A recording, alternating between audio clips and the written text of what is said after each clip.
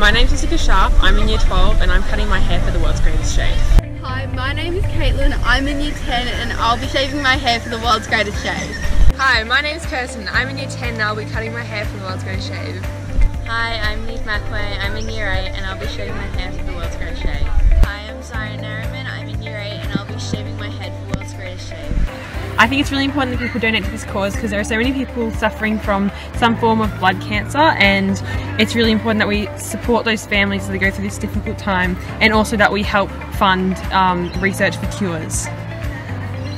I was inspired by seeing girls in other years in the world's greatest shave shaving their hair and raising awareness money and I thought I could do that and my hair would be appreciated so much more by someone else.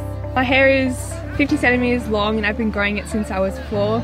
I have a history of cancer in my family and I want to raise awareness for it. Um, I am a bit scared. I'm scared about looking like an egghead for a bit and also like how long it'll take for my hair to grow back.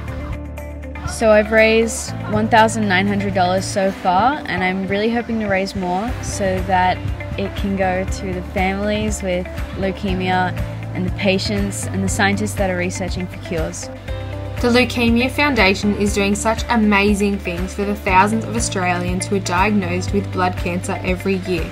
Please donate to the students and teachers in the Cheltenham Girls School community who have dyed, cut, and shaved their hair for this incredible cause at www.worldsgreatestshave.com.au.